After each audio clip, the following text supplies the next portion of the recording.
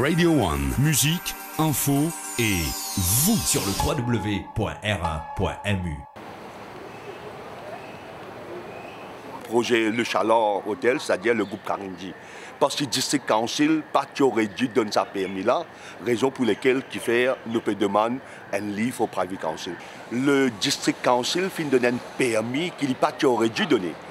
Building and Land Use Permit. Parce qu'une des conditions qui le promoteur a été, est Fresh EIA et ça date depuis 2015. Or, le permis qu'il est fin attaché dans ce euh, pour gagner le permis, c'est 2013. Donc, c'est un permis périmé et la District Council, in fin, donne sa permis là.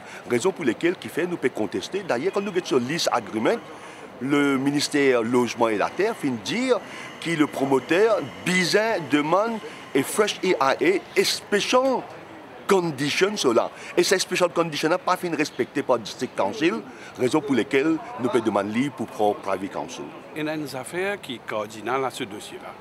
Ce qui nous croit dans due process. Ça veut dire qu'il besoin adhère à une procédure correctement. Dans ce cas-là, il y a un cas flagrant que pas fin adhère à une procédure qui est nécessaire.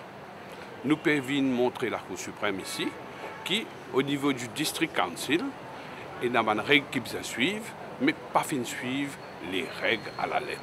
C'est pour ça qu'il nous peut injurier nous contre sa décision-là. Nous ne pouvons pas faire aucune allégation, mais nous dire qu'il y a du process d'un pays bien suivre.